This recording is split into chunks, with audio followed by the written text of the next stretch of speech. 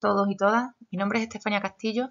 Soy profesora de la Universidad de Huelva y voy a presentar una propuesta de innovación educativa basada en la expresión corporal como medio de enseñanza en el área de educación física en primaria.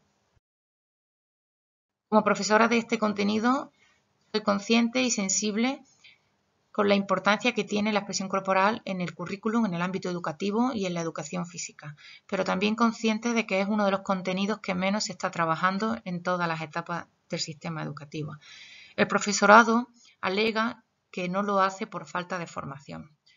Y entonces, aunque aquí habría que pararse, analizar y reflexionar qué es lo que se está ofertando en los grados que preparan a los futuros docentes de educación física y por qué no realizan formación permanente y cuál es la oferta de formación permanente que existe, no es objeto de estudio ahora mismo, pero sí nos sirve como planteamiento inicial. Esta es la situación que tenemos. Un profesorado de educación física que no se siente suficientemente competente para llevar a cabo el contenido de expresión corporal. Entonces nosotros lo que planteamos es utilizar la expresión corporal no solo como contenido, sino como medio, como un medio para enseñar contenido de ciencias. En este caso lo hemos llevado a cabo en diversos centros educativos de la provincia de Huelva, eh, tanto en el contenido de ciencias naturales como de ciencias sociales y en segundo y en tercer ciclo. Hemos utilizado muchos de los alumnos que realizan su trabajo fin de grado, ya que es un trabajo que, mm, que, obtiene una gran satisfacción para el alumnado, un trabajo fin de grado extraordinario con un nivel de de implicación muy riguroso, con muchísimo material y mucho trabajo, pero también obtenemos buenos resultados eh, por parte del centro. Terminan con una gran satisfacción tanto el alumnado como el profesorado y esto nos hace pues a seguir eh, replicándolo en distintos centros e incluso este año estábamos comenzando a diseñar el mismo proyecto para el área de matemáticas. O sea que la idea es enseñar un contenido de ciencia a través de la expresión corporal. De esta manera podemos intentar conseguir que el profesorado se vaya eh, sensibilizando, eh, vaya sintiéndose más cómodo con los contenidos de expresión corporal, eh, de una manera donde no es tan importante la técnica como el proceso, ¿no? no tanto el resultado como el proceso de aprendizaje. Vamos a intentar desarrollar la creatividad gracias a esta metodología porque el alumnado, que va a tener una gran implicación, va a conseguir con las orientaciones del profesorado pues hacer propuestas con una gran elaboración, propuestas originales y debido a esto pues el aprendizaje va a ser mucho más significativo ya que aunque nos basamos en un contenido de ciencia eh, todas las propuestas giran en torno a los intereses y la propuesta del alumnado.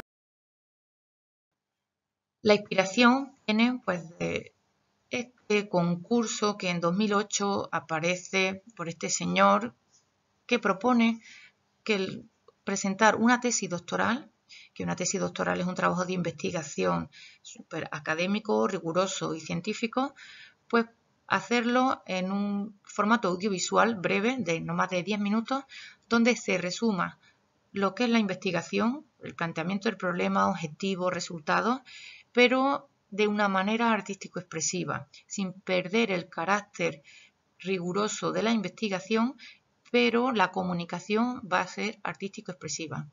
En esta imagen lo que vemos es a este señor en las charlas TED explicando un discurso de ciencia sobre cómo eh, los protones reaccionan ante la luz y de forma paralela vemos a un grupo de bailarines que están representando lo que su contenido verbal está emitiendo. Bueno, esta propuesta ha tenido muchísimo éxito. Uno de los requisitos es que el doctorando debe aparecer en su actuación y se adapta al nivel de, técnica, de desinhibición de los participantes. Es muy flexible. Se cuenta el contenido de la tesis doctoral de diferentes áreas, hay distintas modalidades de biología, de física, etcétera. Y bueno, lo importante es hacerlo de manera artística. Así que yo viendo esto pensé, si se puede contar una investigación tan rigurosa de tantos años y tan compleja como una tesis doctoral, ¿cómo no vamos a poder hacerlo para contar o para enseñar un contenido de educación primaria? Por esto nos planteamos como objetivo general utilizar la expresión corporal como medio para enseñar pues, contenido de ciencia y específicamente pues, diseñar un programa de intervención. Todo esto teniendo en cuenta, sin perder la base es la expresión corporal. Y los contenidos de expresión corporal que vamos a trabajar van a ser la investigación y exploración del cuerpo, el espacio, el tiempo y la energía, la técnica de danza y la técnica de dramatización. Esto el profesorado al final tiene que familiarizarse con ello, acabar sintiéndose cómodo y acabar desarrollándolo con igualdad que el resto de contenidos. Esta clasificación es muy sencilla y cualquier profesorado de educación física puede entenderla y diferenciar cada uno de esos contenidos y diseñar para cada uno de esos contenidos. Esta otra clasificación un poquito más elaborada, pero también bastante sencilla. Y también vamos a tener en cuenta las dimensiones que Learreta, Sierra y Rúa nos explican en este libro, donde hay que pasar de esa capacidad expresiva que el alumnado tiene que aprender a exteriorizar y expresar, pasando por la comunicativa, donde esa expresión tiene ya una intención de interactuar y comunicar algo, y la más compleja que es la creativa. Vamos a procurar que el alumnado consiga eh, propuestas que tengan una elaboración, que sean originales y con, que el profesor profesora le ayude a generar pues, esa fluidez de, de respuestas. ¿no? También, por último, vamos a tener en cuenta la dimensión estética, es decir, nuestro referente tiene que ser algo artístico, estético, algo, algo bonito, huyendo de los clichés, de los estereotipos y de los contenidos vacíos, ¿no? También vamos a tener en cuenta, por supuesto, los elementos del currículum, o sea que vamos a, diseñar nuestra unidad didáctica teniendo en cuenta la concreción curricular, vamos a hacer la transposición didáctica y vamos a definir eh, qué se va a evaluar, cómo, con sus elementos, etcétera. Normalmente hacemos dos eh, programaciones, dos unidades didácticas, hacemos un paralelismo entre los contenidos de ciencia y el de expresión corporal. Y de forma paralela, en educación física vamos a diseñar una unidad didáctica o bien de danza libre creativa que ayude al alumnado a crear luego esas danzas que van a representar el, el tópico de ciencia que les corresponda o bien una unidad didáctica de dramatización, donde el alumnado, depende del ciclo en el que esté pero va a realizar juego dramático o dramática creativa girando en torno al tópico del tema de ciencia que le corresponda. De esta manera trabajamos de forma paralela en las dos áreas, estamos haciendo expresión corporal. El proyecto de innovación no sería más que una unidad didáctica como cualquier otra llevada a cabo en torno a una media de cinco semanas. Integramos contenidos de ciencia y además evaluamos la satisfacción con un pequeño cuestionario donde vemos si algún aspecto pues, ha podido quedar un poco eh, descuidado para tenerlo en cuenta. Eh, vamos a presentar un ejemplo de cómo mm, organizaríamos lo que, lo que sería la propuesta. Vamos a dividir la clase en grupos en grupos. Aquí os presento ABCD por, simplificar y que sea más fácil, pero realmente en, clase y trabajando con niños y niñas, los grupos pues no se llaman ABCD, van a tener un nombre un poquito mm, más artístico, más divertido y significativo relacionado con el tema o el tópico que estén trabajando. Y vamos a dividir o establecer cuatro roles diferentes. El alumnado va a tener que asumir estos roles. Por un lado, el de narrador o narradora van a tener que contar o narrar como si fueran pues, presentadores de un informativo o de una charla o un youtuber, o sea, en el nivel de más formal a más informal, pero vamos a tener en cuenta la comunicación verbal y los aspectos de la comunicación no verbal en ese apartado que tienen que, exponer. Pero además tienen que cantar, tienen que cantar el tópico del tema de ciencia o bien eh, creando ellos su propia, una poesía que pueden argumentar o pueden adaptar una canción conocida a la letra del tema que corresponde o hacer un rap o inventar algún formato similar. También van a tener que bailar. El tópico que les corresponda, van a tener que diseñar una coreografía libre, creativa, con un aspecto eh, muy básico de creación de coreografía, como ocupación en el espacio, cuerpo, espacio-tiempo, etcétera, pero que representen el tópico que les corresponde y luego van a tener que hacer también un papel eh, de escenografía, que se refiere, por un lado, a ayudar al grupo que tiene que actuar en la caracterización de personajes, pues elaborando algunos elementos que les sirva para representar, ¿no? Pues poner un, símbolo, el elemento, antifaces, lo que sea. Y también, además, van a tener que elaborar un mural de ese apartado que les corresponde. Al final del tema, pues la clase tiene todo el tema expuesto en, la pared con murales, murales eh, con imágenes, fotos, textos, etcétera, y todos han narrado, han cantado y han bailado el tema. Vamos a repartir esos apartados del tema de ciencias naturales en este caso, y cada grupo pues eh, prepara cada apartado con un rol diferente, de forma que, por ejemplo, el apartado 1 del tema, el grupo A ha actuado como narrador y lo cuenta narrándolo como he comentado anteriormente. El grupo B lo va a preparar como cantante y van a preparar una canción de ese tópico. El grupo C va a preparar una coreografía mm, sobre el apartado y el grupo D la escenografía. Así que esta sería la, forma del reparto de tareas y haríamos igual con los siguientes apartados del tema. Esto consigue la implicación de todas esas áreas de ciencias naturales, de ciencias, de música, de educación física, por supuesto, y de plástica. Tenemos ejemplos.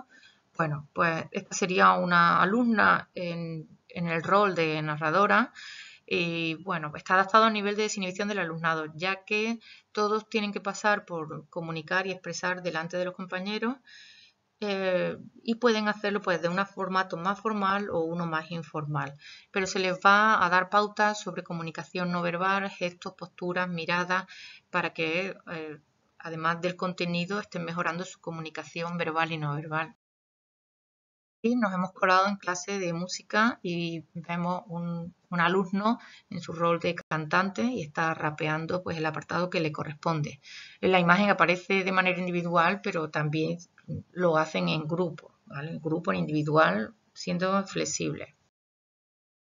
Estamos ahora en clase de ciencia y en lugar de estar trabajando con su libro en formato tradicional, pues están haciendo una coreografía del apartado que les corresponde. Aquí vemos cómo eh, un grupo que están haciendo su baile, pues lo hacen en el recreo, aprovechando los rincones, los espacios que tiene el centro eh, y nos colamos también pues, en esos espacios y en esos tiempos que son fuera de la clase tanto de ciencias como de educación física. Será un ejemplo de mural que cada grupo elabora. Al final del tema pues tenemos todo el tema expuesto también. Ejemplo de los materiales que el, grupo de escenografía tienen que preparar. Estos son de goma eva y como hemos visto en un grupo anterior los alumnos y las alumnas iban con una camiseta blanca y uno de estos símbolos con alfileres, que es algo sencillo pero representa mucho. ¿no? Esto se puede hacer también con colaboración de, de plástica. Estos veis que están muy elaborados con ayuda del profesorado. A tener en cuenta que es más importante la expresividad la técnica. Aunque no es el, objetivo final ni lo importante, sí que es muy estimulante mm, terminar con un formato audiovisual.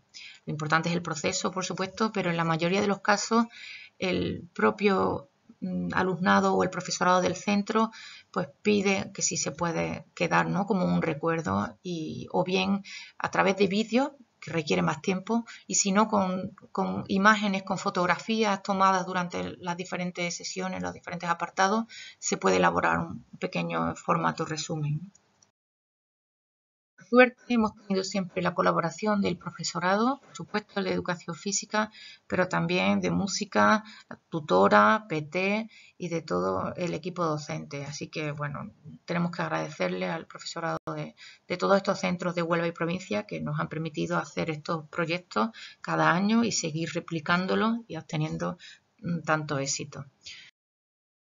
Para terminar, como conclusión, pues que nos resulta a nosotros una forma de enseñar atractiva para el alumnado, novedosa, donde los propios alumnos de primaria se sienten cómodos trabajando expresión corporal así, donde dejamos un formato, un recuerdo y el profesorado de educación física esperemos que acabe sintiéndolo también como algo eh, accesible y que se puede llevar a cabo.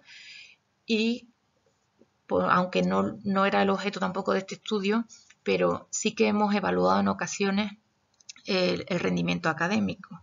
Hemos hecho eh, una evaluación interclase evaluando la, nota media del examen entre un grupo control y un grupo experimental, aunque eh, este tipo de metodología no requiere una evaluación mediante examen, porque es un formato más tradicional, a veces sí lo hemos hecho para poder comparar este rendimiento académico y también hemos comparado a nivel intraclase, hemos comparado la media de examen de este tema con la media de examen del tema anterior y siempre hemos obtenido puntuaciones más altas por lo que consideramos que, bueno, pues que una propuesta eh, que resulta viable y sobre todo con nuestro objetivo que era mm, impregnar de expresión corporal pues los centros y el currículum y eso pues consideramos que sí estamos satisfechos con el resultado.